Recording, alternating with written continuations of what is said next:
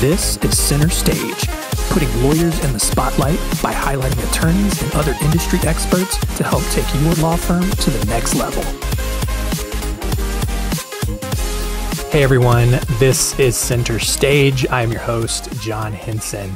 And uh, this is a brand new show from Spotlight Branding. Uh, our current show, the Law Firm Marketing Minute, that I'm also hosting, is not going anywhere. You'll still get new episodes of that every Monday. Uh, but this new show, which uh, is hopefully going to be dropping in early 2021, uh, is just going to be some interviews with lawyers and other legal industry experts talking about marketing and other business development issues that we see a lot. And hopefully, you know, you will get some inspiration to help your law firm run better.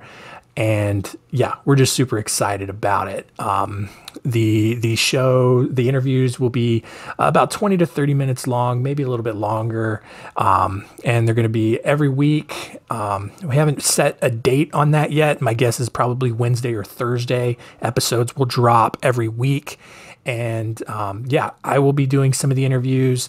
Uh, Mark, uh, our Spotlight Branding CEO and uh, former host of the law firm Marketing Minute until I took it from him. Um, no, I you know, he just he let me have it basically, and um, but yeah, he'll be doing some of those interviews as well, and yeah, it's going to be great. It's going to be super valuable. Um, I'm super excited for uh, some of the people that we're going to be able to get on because uh, I know they're really going to help you out and, and, give you a lot of good direction for your law firm. So, again, keep an eye out on that. Uh, keep an eye out for uh, an, another announcement, just when the first episode is going to drop and who the first guest is going to be, uh, and also how you can potentially become a guest on Center Stage as well.